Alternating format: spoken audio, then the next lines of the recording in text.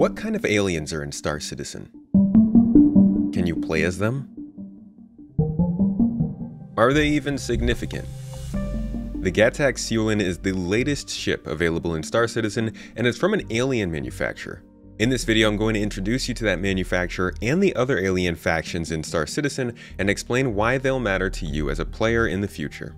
Thank you for coming to my Tomato Talk.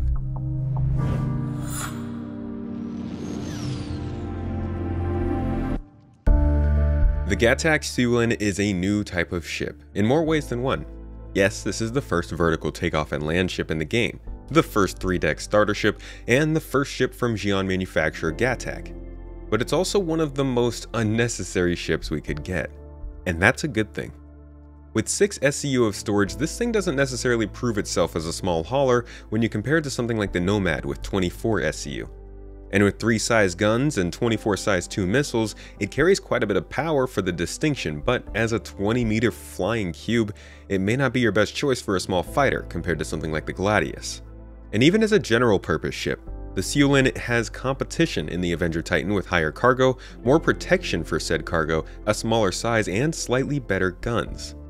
But numbers aren't everything, and a general purpose ship is the most important for Star Citizen especially at this size. The Syulen finds itself in the middle of a lot of ships with different roles, and it both emphasizes their strengths, like the carrying capacity of the Nomad and the simplicity of the Cutter, or the combat readiness of the Gladius, and it pretty cleanly defines itself as the bar for the premium single-seat experience in the most generic sense. Hospitality, defense, utility. Nothing of extra function, including space, it's a bit cramped. It's a premium starter ship that specializes in unique design and experience, while others might choose mining, salvage, or even passenger transport. That choice of picking such a general ship to upgrade through in your progression is key to the variety a game like Star Citizen is looking for, and equally as much the choice to completely skip a ship like this in your progression because it's simply not necessary, it's just a choice. Because when you break it down, we need more reasons than just speed, utility, and DPS to differentiate each person's ship selection. And alien design is a huge checkbox to hit for many people.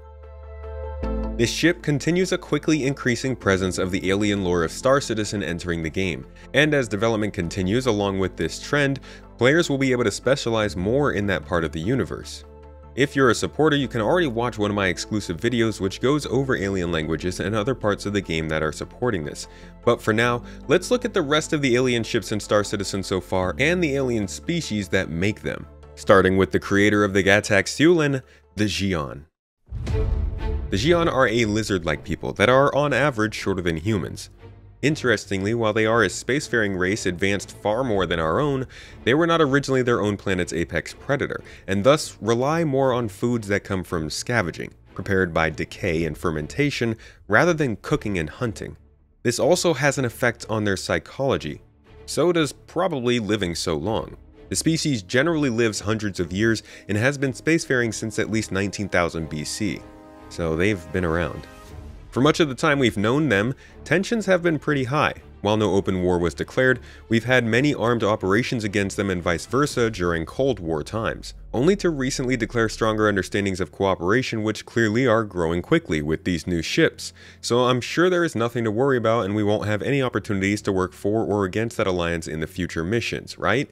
It's not like the gangs like Xenothreat or friendly factions like Citizens of Pyro who spray paint Don't Buy Alien in Microtech would have any missions against the Xi'an.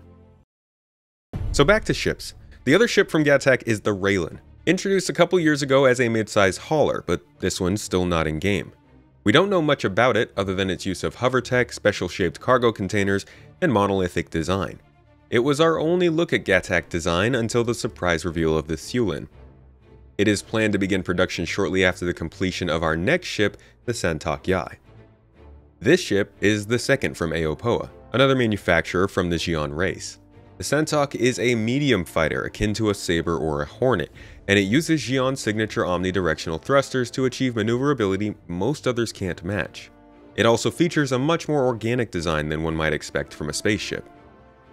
Its smaller brother, the Khartu-al, is also an omnidirectional organic weird-looking beast of a ship, but it is the light fighter variant going up against the Gladius or the Arrow.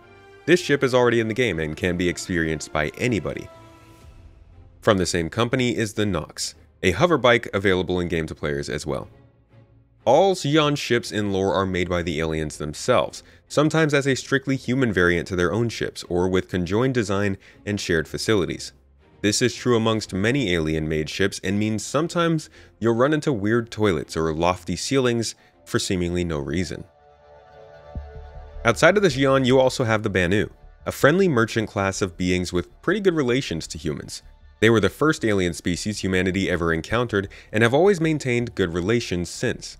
We see this replicated throughout lore with Banu and humans teaming up together in crews and Banu advertising heavily to humans. They have no standing military and generally no bad relations with anyone, as trade and commerce overcomes almost everything with them. As you can imagine, we also quite like their ships.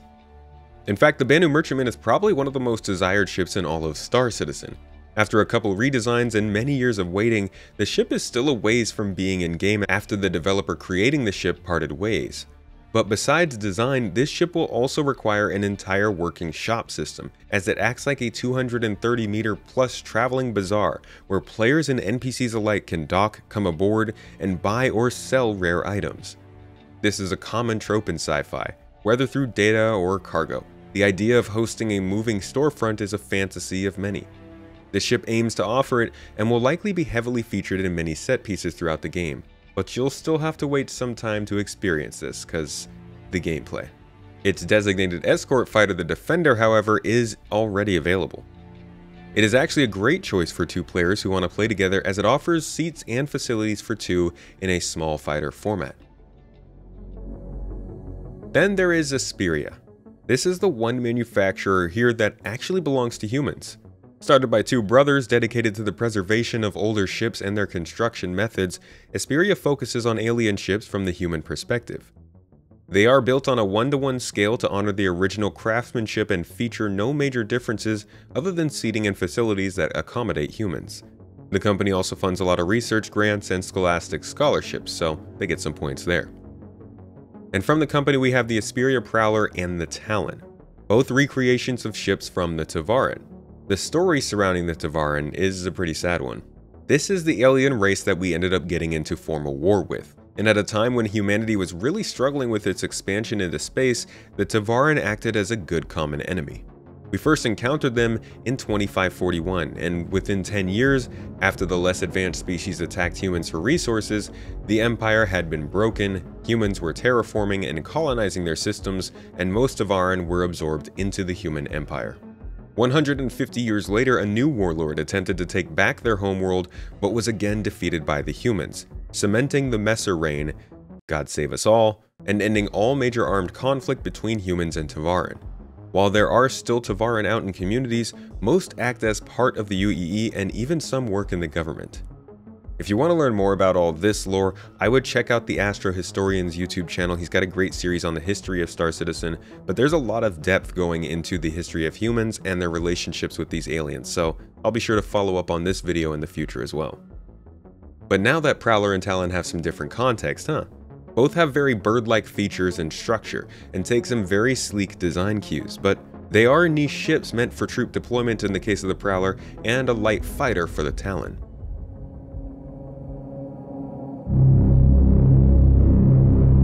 Finally from Esperia we have faithful recreations of Vanduul ships. The Vanduul are kinda jerks. Since 2681, they've repeatedly attacked humans while refusing all communications.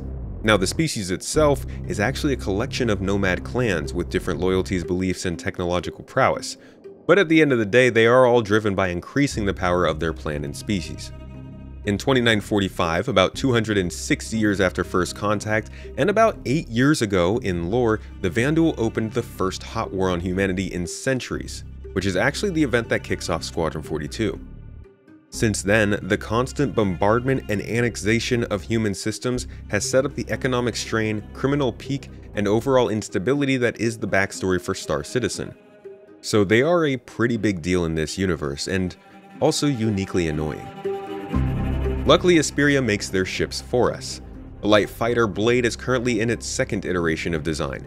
The heavier asymmetric scythe is currently still on its first, which you can clearly tell.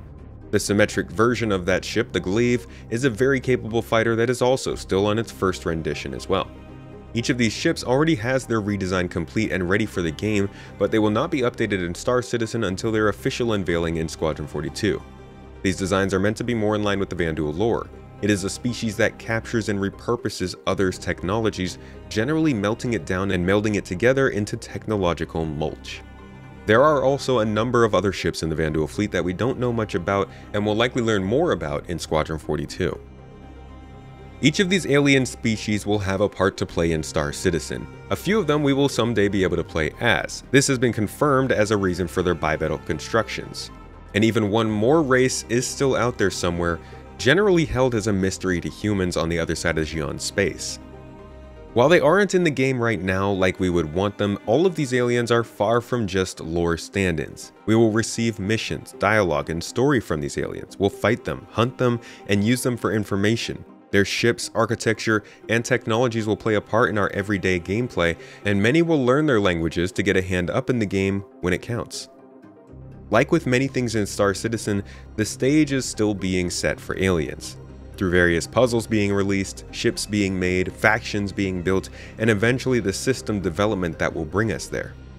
With the Vega and Odin systems both being made for Squadron 42 likely featuring some Vanduul background, by the time those systems make it into the game, we will have to start experiencing them in the PU. So if you are interested in a strictly human science fiction, I'm sorry to give you the bad news. But if you're interested in seeing how an alien species can intertwine through politics, economics, combat, and mercantilism with a humanity struggling at war and fighting to recover, you're likely going to experience some amazing story and nuance in the fiction Star Citizen is building. I've barely touched on the lore of these species or their ships in this video, but I aim to bring you a lot more information like this in the future. We have a long way to go, but I'll be sure to keep the weekly videos and streams coming. And if you want to support the channel, my Patreon and YouTube members have been enjoying our referral randomizer program. Supporters of a certain tier will have their code added to my randomizer below, earning my supporters and newcomers who sign up in-game bonuses rather than using my referral code. Besides that, you can find three different podcasts, long form analytical content, and casual news drops over on Space Tomato 2 as well. It's my second channel. And if you've made it this far, you should take the secret code now on screen and enter it into my giveaway for one of these weird new alien ships. I'll be giving one away in the coming weeks with a few more additional secret codes on the way to get you more entries coming in my videos and streams, so keep an eye out. I hope you learned something new in this video. I'll catch you in the next.